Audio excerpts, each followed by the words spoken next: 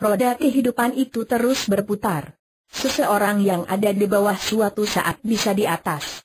Siapa sangka Dahlan Iskan yang lahir dan tumbuh dalam keluarga dengan keterbatasan ekonomi, justru menjadi salah satu tokoh penting negeri ini.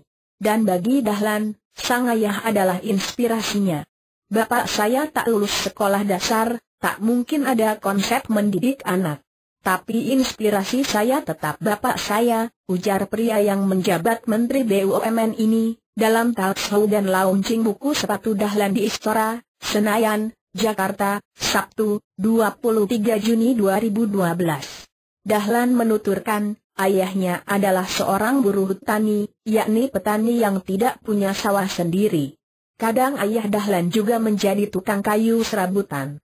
Penghasilan sang ayah kerap tidak cukup untuk hidup sebulan, tapi toh ayah Dahlan tetap bekerja keras setiap hari.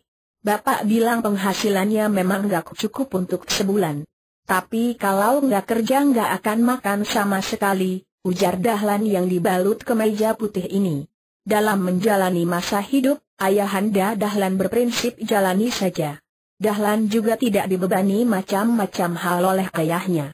Yang terpenting bagi sang ayah, Dahlan kecil bisa ngaji, hatam Al-Quran, dan sekolah di madrasah. Setiap hari ayah Dahlan selalu sibuk.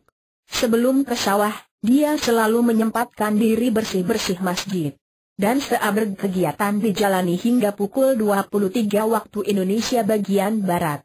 Bapak saya mengajarkan untuk kerja keras dan ikhlas, sambung pria yang pernah jadi wartawan ini.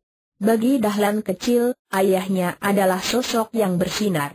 Ketika sudah dewasa dan menjadi ayah, Dahlan meyakini bahwa anak-anak mencatat apa yang dilakukan ayahnya dan kemudian mencontohnya.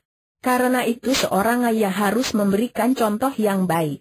Mungkin bapaknya miskin, gagal, tapi anak kecil akan selalu anggap bapaknya hebat dan pahlawan, ucap Dahlan.